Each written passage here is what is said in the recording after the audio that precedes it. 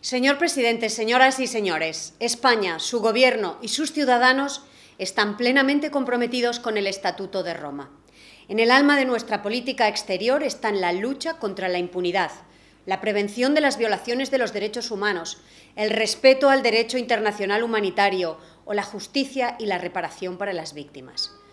2020 ha sido un año de retos inéditos, también para la Corte Penal Internacional.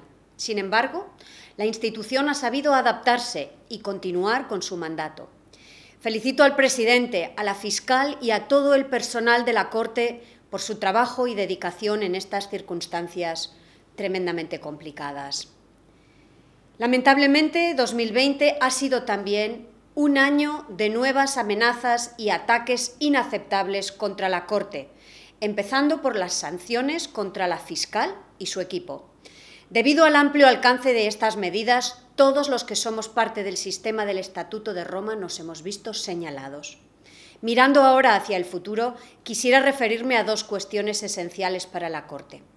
La primera es la evaluación externa de su funcionamiento y la aplicación de las recomendaciones propuestas por el grupo de expertos independientes. Se trata del ejercicio de revisión más importante desde la adopción del Estatuto de Roma y se está avanzando de manera positiva.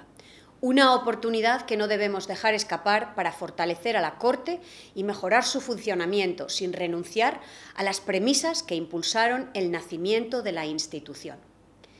En segundo lugar, quiero referirme a la elección de jueces y de fiscal, que debe fundamentarse en los principios de excelencia, de independencia y de máxima consideración moral. Por ello consideramos que los Estados aquí reunidos debemos ser exigentes a la hora de depositar nuestra confianza. La renovación de estos cargos electos durante esta sesión, así como el del presidente de la Asamblea, nos hace directamente responsables del futuro de la Corte. No puede faltar una mención a las víctimas, la razón de ser del sistema. España sigue plenamente comprometida con la restauración de la justicia y con la recuperación de la vida digna de los individuos y comunidades supervivientes de los crímenes. Seguiremos apoyando al Fondo Fiduciario para las Víctimas y a su Consejo de Directores.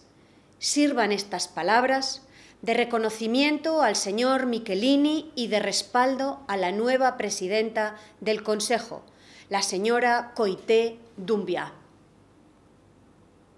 Por último, concluyo haciendo un llamamiento a los estados amantes de la paz, a sumarse al Estatuto de Roma y a todos los miembros de la comunidad internacional así como al Consejo de Seguridad de Naciones Unidas, a cooperar en la lucha contra la impunidad y en la prevención de los crímenes de lesa humanidad. Si buscamos rehumanizar la globalización, debemos contar con una Corte Penal Internacional reforzada en su independencia y su eficacia. Señor presidente, gracias por el trabajo intenso que ha realizado en los últimos tres años al frente de la Asamblea. Igualmente enviamos nuestra felicitación más cordial y sincera a la nueva presidenta. Muchas gracias.